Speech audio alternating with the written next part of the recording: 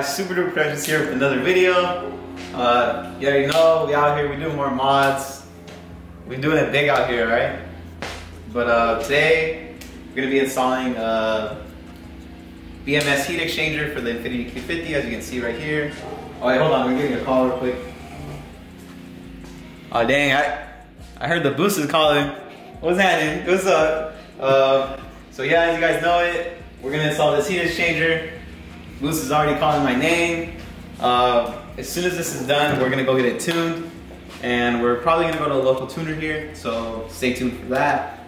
Um, as you can see, this is a BMS heat exchanger. It's the 299 edition. Um, there's two of them. There's an Elite and then a regular. This is the regular one. I've heard they're exactly the same, just that the 429 version is made in the USA, and this one's made in China, I believe. But here it is already kind of unboxed it the other day, so look at it. But dang, this is a big difference from what I've seen in pictures. The stock one is like probably like half of this and like half the size it seems like. And this thing just looks beautiful. But um, yeah, I mean, if you guys are looking for a heat exchanger, I think this is like one of the most uh, budget friendly ones and I've heard they run really good, so yeah, without further ado, uh, let's get started. First thing you gotta do basically is remove the front bumper. So in order to do that, there's a bolt back here, these clips, and there's bolts behind here. And I would probably recommend jacking up the car, so that's probably what we're gonna do right now. We're gonna jack up the car, put it on jack stands, and yeah, that's about it for now. And I'm kind of debating on removing this piece right here because I, I don't know if you can see the heat exchanger from here, but you might be able to. I don't know. I guess I'll look into that once we get back there. But yeah, let's get this front bumper off.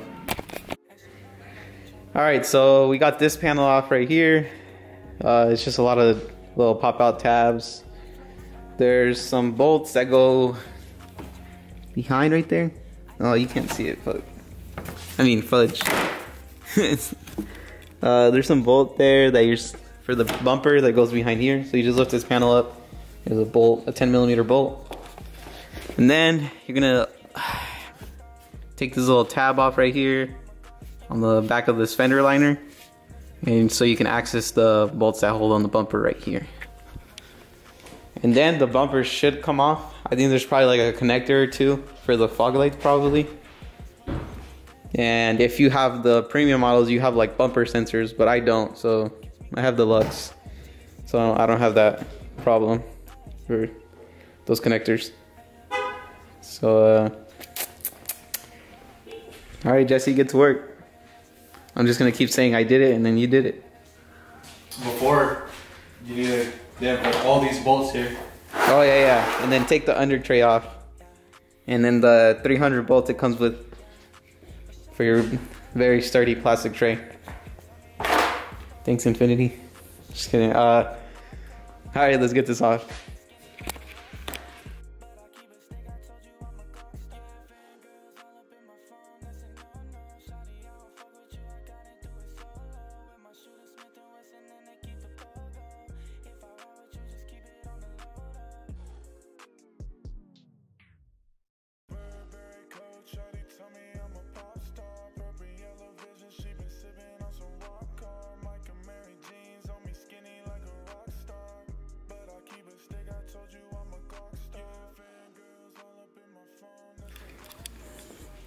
All right, so Jesse just got the bumper off.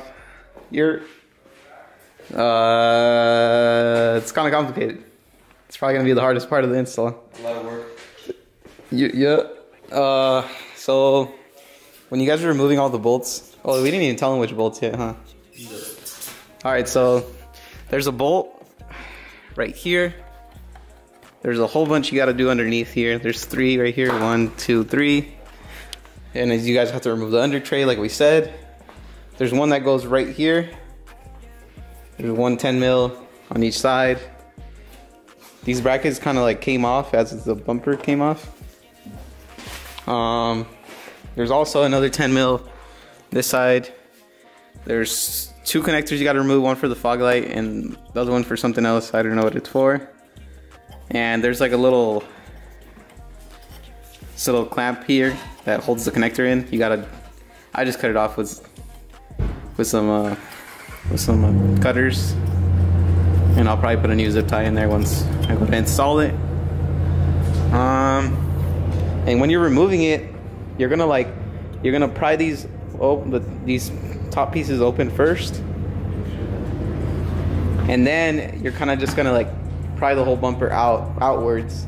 But just don't don't go too crazy because obviously you don't want to break it. I'm sure those bumpers aren't cheap, but there it is. It's off. Um, now we're gonna get go ahead and get started on the whole heat exchanger. And as you can see, this is the OEM heat exchanger. It's a very big difference. Look how thin this is. It's like super thin. And looks really flimsy, honestly. It looks small too. But um but yeah. This Any nice. tips? Nice. Get to it. You gotta have uh, two helpers. It helps, especially if you thick. but uh, all right, let's keep going on this. Uh, the next step I uh, what I saw in the instructions is remove this crash beam here. So these four bolts here, and probably move these plastic things out of the way or take them off. I guess we'll see once we get there. I think they just come off once we put the heat, the crash beam off. So next step, take the crash beam off, and we'll get back to you. All right, so we got a little ahead of ourselves, but we got the crash beam off, which is four 12 millimeter bolts, well, two bolts, two nuts on each side. You pull that out, and then you disconnect the hoses, which is just two clamps on the heat exchanger, and a little bit of coolant comes out. So make sure you have a tray. We spilled some because we're professionals. Um, and then all it's going to be is two 10 millimeter bolts, or one 10 mil, I guess, on this side. Or is it even a bolt? Yeah. Yeah, yeah, yeah. One 10 mil on that side and two on this side. And then you should be able to just snake it out of here. From what I saw in the instructions. Totally not looking at other YouTubers. If it ain't the right way, it's the super duper way. You're all right. So let's get this off. All right. So as you can see, first thing we're gonna do is, I mean, you can you can be over here, guys. Okay. Don't be shy. Uh, kind of hold it in place. I can throw the in, or you the bolt in.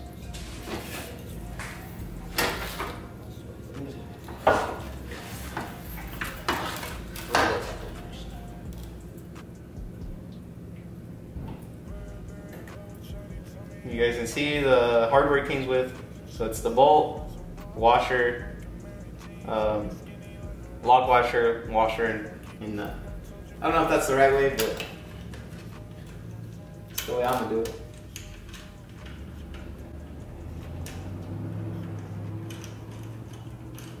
And it's the longer bolts, because there's some smaller bolts. Well, the longer bolts are the ones I'm using. I don't know if the other one's for the oil cooler. If you guys have an oil cooler, which I don't, you guys can check on that. And let everybody else know in the comment section below. I ain't letting y'all know. Kind of YouTuber do you think I am?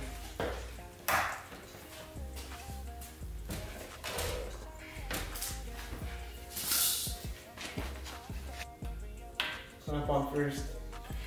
And now you're gonna use these. I don't know why you don't reuse the old ones, but that's what the instructions said, so that's what I'm gonna do. And this one, to me, it seems like the instructions aren't very clear, but I think you you take these off.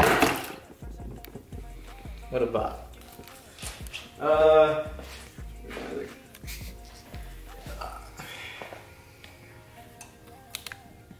if you guys haven't already noticed, we're not professionals. So, Kids with dreams. yeah. Do this at your own risk. If I break your car, I'm sorry. So that way it's not like snagging on it.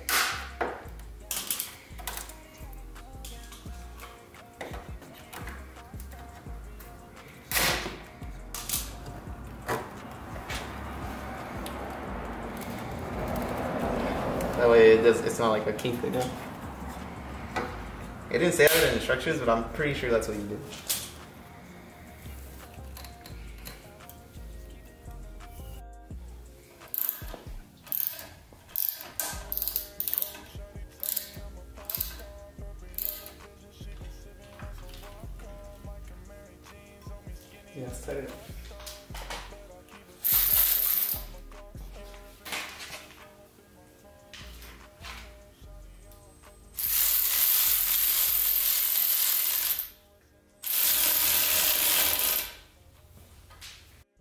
All right, so as you guys can see, um, this clamp is tying down.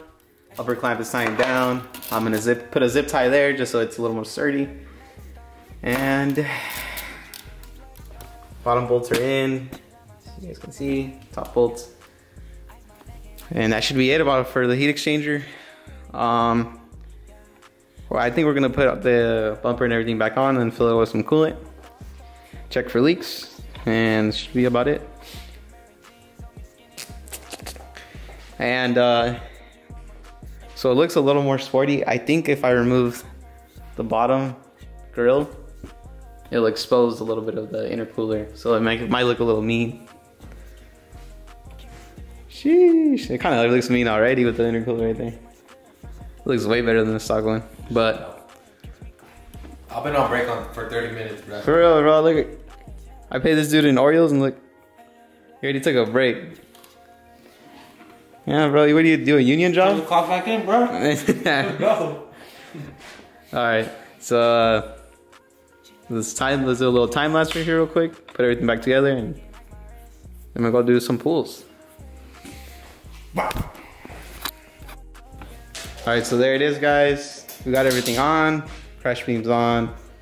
The foam reinforcement.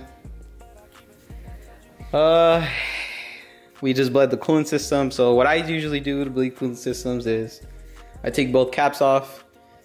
I fill them up all the way to the top, and then you turn on the car and you keep filling them, filling them up, filling them up as needed. So, and you make sure the car warms up all the way to operating temp. And honestly, I let I let it go all the way to operating temp, and probably like even 15 minutes after that, just all the bu- bubbles are just like sitting there bleeding itself out. And it is going to be dripping out. I mean, it's just the way it is. If you do it this way, I know the proper way is to do it with a pressure bleeder, but I don't have that, so this is what I did. So if you guys don't have a pressure bleeder, this is the way I did it. It seems like the car warmed up fine. No, it didn't overheat at all. The fans kicked on already, so the thermostat ran through. No leaks on my intercooler at all, or the heat exchanger. My bad, not cooler But there it is. Yeah, that's extra from when it was leaking over uh, from the overflow up there. Um, what we did is we removed this, the bottom grill piece. So it's gonna leave that exposed. So that way when we go to put the bumper on, it's gonna show the, it's gonna show that I have, it's gonna show the intercooler, or the heat exchanger, my bad. Here, Jesse will throw on the bumper real quick just to show you guys. It's not in all the way yet, but just to give you guys an idea.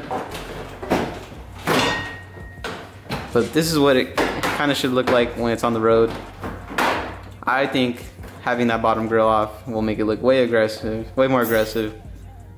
Obviously, I guess you're not having more, it's not really a sleeper look anymore, but I'd rather have this look. I think it looks amazing right there. Sheesh, look at that. Dude, it looks so good. But uh, shout out to the boy Jesse for always coming through and helping out. But uh, yeah, we're gonna get all the bolts back in, all the 10 mils that uh we don't know where they go, but hey, we're gonna throw them on. So uh, let's keep going. All right, so the bumper's basically on, looking clean. Jesse's putting in the last bolts. So make sure you put these bolts with that plastic bracket underneath. Uh, a bolt behind here with that other bracket. The uh, one bolt on each side, like go right here. Uh, and obviously all the bolts for the under tray. I'm not gonna show the under tray. I mean, it's pretty simple. Just throw it in and just throw it in and and uh, put all the bolts in because I'm gonna give it a nice clean under the under the engine because it was leaking previously, but Infiniti fixed it. They just didn't wipe it down, but it's I mean that's not their job. I'm um, just gonna put this, put the plastic tray back on, go on a test drive, and should be about it. Um, like um, next video for the Q50 is gonna be getting tuned, so stay tuned for that. Stay tuned for the tune. But uh, all right, we're gonna finish this up and go on a few pulls, and then close out the video. So I'll see you in a bit. So there it is, guys, all installed, bumper on. You can kind of see the intercooler there. It looks so mean. Now all we got to do is go give it a few test drives. I don't. It's not going to change the car really until. That's just more for cooling once you raise the boost up. But let's go do give a few pulls for the video, because why not? So uh, let's go do some pulls, bro.